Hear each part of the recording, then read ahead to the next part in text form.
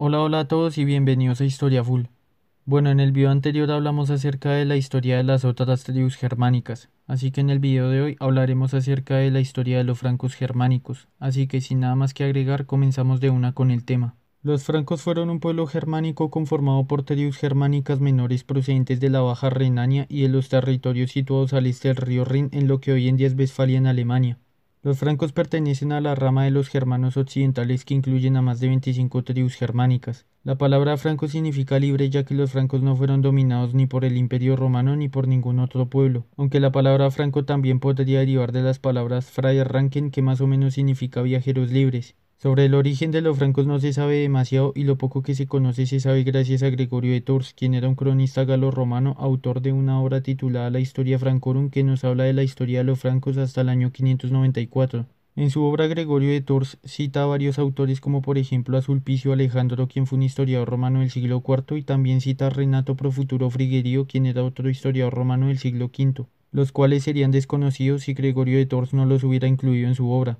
Sin embargo, otras fuentes fueron las de Amiano Marcelino, quien fue un militar historiador romano del siglo IV, y Sionio Apolinar, quien fue un noble y terrateniente galo-romano, quien también se desempeñó como obispo. Según la información recolectada, los francos pudieron haber surgido de la unión entre varios grupos germánicos menores, como por ejemplo los usípetes, los téncteros, los sicambrios y los brúcteros, además de otras tribus germánicas menores, quienes habitaban en el valle del río Rin en el este. Además, también se cree que estas tribus se unieron debido al desorden de las guerras marcomanas que iniciaron en el año 166, pero también por los conflictos generados a causa de esta guerra durante el siglo II y el siglo III. La primera vez que se menciona un territorio franco es en una obra titulada titulada el relato de los emperadores romanos Penegerris y Latini a principios del siglo IV. En esa época, un territorio que sería el área del norte y el este del río Rin, en lo que hoy en día sería el estado de Renania en Alemania, sería el estado de los francos. En este territorio vivían los francos y las tribus menores que los componían, como por ejemplo los sicambrios, los alios, los téncteros, los usípetes, los vindélicos, los brúcteros, los amsibaros, los cámaos y los catos. Algunas de estas tribus suministraban tropas a los romanos en el área de Limes para proteger las fronteras del imperio. En un principio los francos se dividían en dos grupos, quienes tomaron sus nombres de donde habitaban.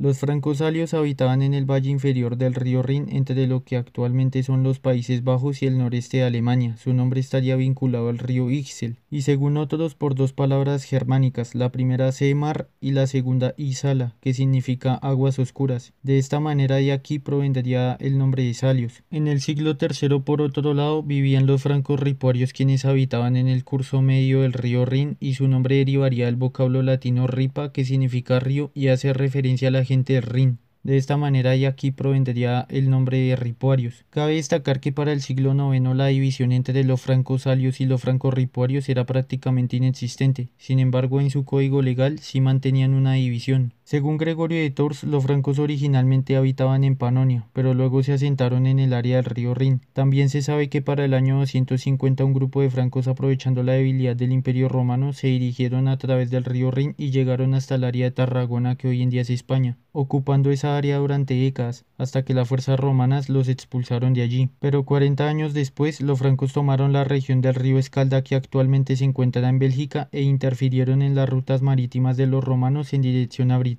sin embargo, los romanos pacificaron la región, pero no expulsaron a los francos de allí. Entre los años 355 y 358 el emperador Juliano intentó dominar las vías fluviales del río Rin que se encontraban bajo el control de los francos y volvió a pacificarlos. Sin embargo, en esta ocasión Roma les concedió una parte considerable de la Galia Bélgica. En ese momento los francos se volvieron federados del imperio romano. De esta manera los francos también se volvieron el primer pueblo germánico que se asentó de manera permanente dentro de las fronteras del imperio. Por otra parte se cree que el neerlandés hablado en Flandes, en la región de Bélgica y también en la región de los Países Bajos sería originaria de las lenguas germánicas francas antiguas. Los francos prosperaron en las tierras romanas, pero algunos apoyaban a Roma, pero otros estaban en su contra, como fue el caso de Flavio Bauto, Albogastes y Malobaudes. Después de la caída de Arbogastes durante la batalla del Frigio cuando él se suicidó, su hijo Arigio estableció un condado hereditario en el área de Treveris. A pesar de ser aliados de Roma desde la década del año 420, los francos aprovecharon la decadencia romana para extenderse en el sur de manera que fueron conquistando gradualmente la Galia, al norte del río Loira y al este de la Aquitania visigoda. La invasión franca sucedió en el área del río Somme y en la actual ciudad alemana de Münster.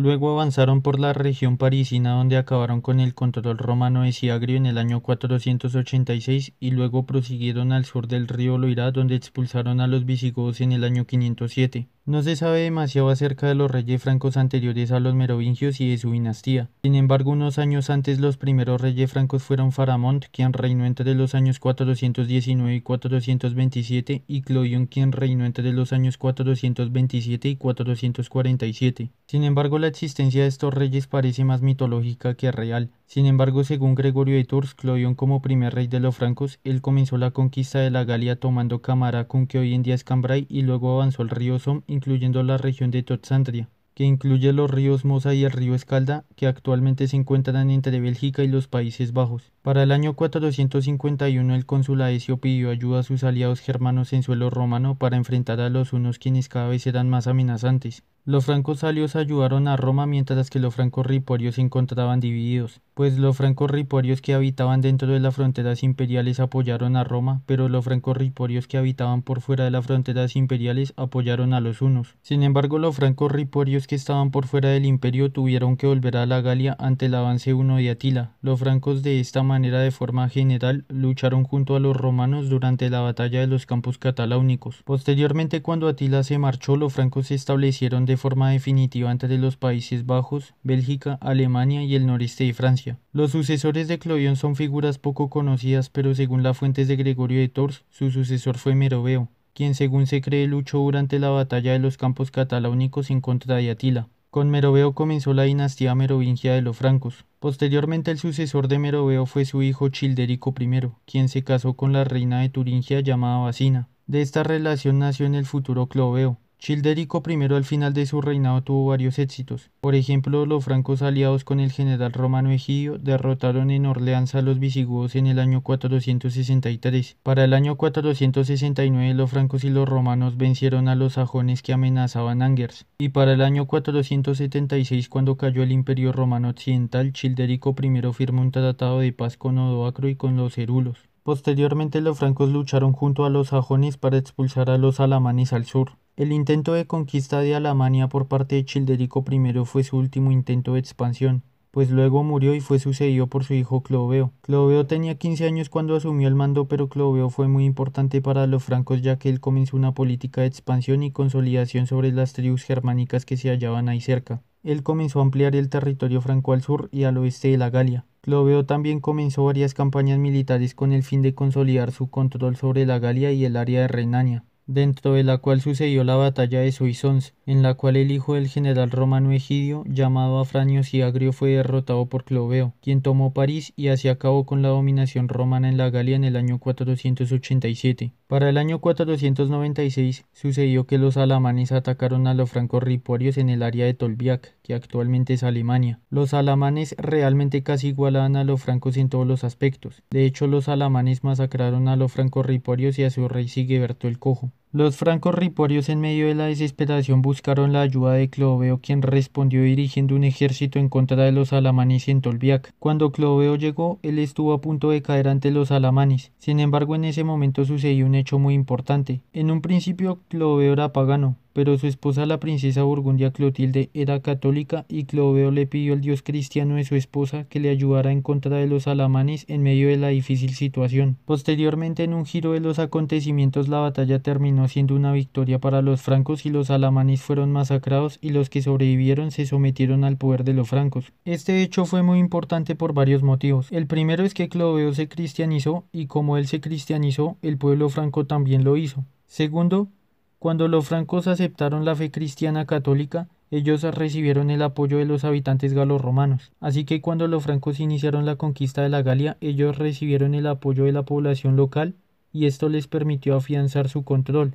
Esto, por ejemplo, sucedió cuando los francos entraron en guerra con los visigodos. El reino visigodo también era cristiano, pero de fe arriana que el arrianismo era una corriente cristiana considerada herética por la Iglesia católica. Entonces los habitantes galos romanos que eran católicos y que se encontraban bajo el control del reino visigodo, pues ellos prefirieron apoyar a los francos quienes eran católicos. El tercer motivo es que gracias a la cristianización de los francos, tanto la Iglesia católica en Roma como los francos estrecharon los lazos. Cuarto, que la Iglesia Católica Romana encontró un aliado fuerte en el reino de los francos, y esto permitió que la Iglesia se pudiera afianzar en el continente europeo. Y los francos a su vez necesitaban de la Iglesia Católica ya que los católicos y pues la Iglesia eran hombres expertos en la administración.